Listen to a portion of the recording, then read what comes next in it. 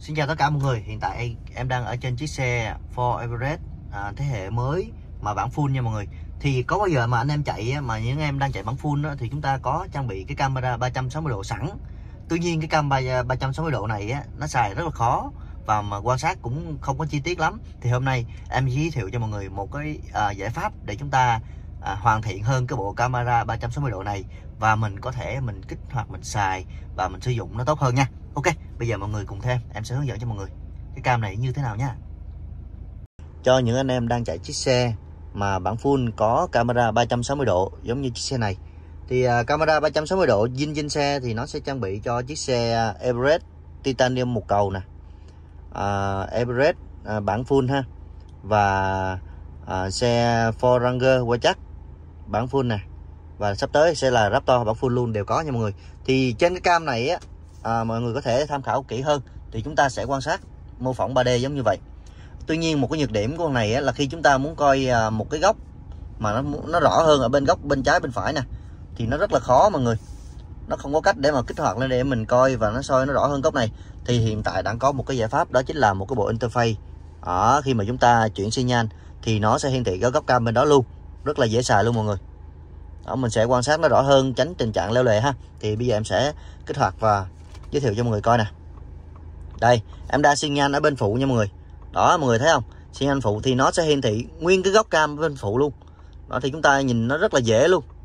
Mọi người thấy không? Đó nguyên cái góc cam bên này nè. Mình chạy mình chỉ cần uh, nó có cam phía trước và có cam ở bên góc phía trước mà bên phụ luôn nè. Rất là dễ nhìn ha. Rồi bây giờ em sẽ thử lại ở bên tài nha. Đây bên tài này mọi người đó, vật cản này kia mình có thể mình canh lề và mình theo dõi những cái vật cản rất là dễ dàng luôn, cực kỳ dễ dàng. Đó, đây là bên trái và bên phải ha. Tiếp tục, ở phía sau, khi em cà dê nè mọi người.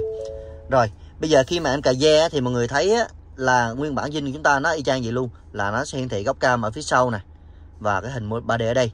Tuy nhiên, ở, tuy nhiên nha, khi mà mọi người muốn coi rõ hơn ở góc như này á, thì mình có thể đánh xi nhan ở bên đó luôn. Ví dụ xi nhan ở bên tài nè đó hiển thị nguyên cái góc ở bên này luôn. Rất là hay ha, nguyên góc cao bên này luôn. Và cái này nó sẽ điều khiển cho chúng ta 3D là chúng ta xài được chỗ này luôn. Đó, mọi người nhìn lại nè ha. Đó, bên tài nè. Bây giờ em sẽ thử lại ở bên phụ luôn. Đây, mọi người thấy không? Nó sẽ hiển thị rất là rõ, rất là chi tiết hơn, cụ thể hơn rất là nhiều. Mọi người sử dụng này nó rất là dễ luôn nè ha. Đó. Rồi đó, đây là một cái bộ cam mà nó nói chung là khi mọi người gắn cái bộ này vô á là à, cảm giác hoàn toàn nha mọi người không có độ chế gì hết cảm giác hoàn toàn 100% luôn. Và à, nó tích hợp rất là đầy đủ và mình có thể à, theo dõi quan sát rõ hơn từng chi tiết của xe hơn. Đó điều đặc biệt nữa là cái cam này mọi người nó kích hoạt lên rất là dễ dàng. Khi mà chúng ta chạy á, nguyên bản dinh chứ, chứ chúng ta chạy muốn ta muốn kích hoạt cái cam lên á thì chúng ta phải à, phải vô số D à, hoặc là mình phải cài ve thì nó mới lên cam. Tuy nhiên đối với cái bộ cam này á thì mình à, muốn mở cam lên để mình quan sát luôn rất là dễ mình chỉ việc đá pha thôi mọi người. Đá pha thôi thì nó sẽ xuất hiện lên cam nha. Rất là dễ đúng không? Khi mọi người muốn tắt đi đá pha cái đi nó sẽ tắt đi. À, rất là xịn sò nha mọi người. Dành cho những anh em đang chạy Six 4 thế hệ mới bản full có camera 360 độ zin theo xe là mình xài được bộ này nha. Ok xin chào tất cả mọi người nha.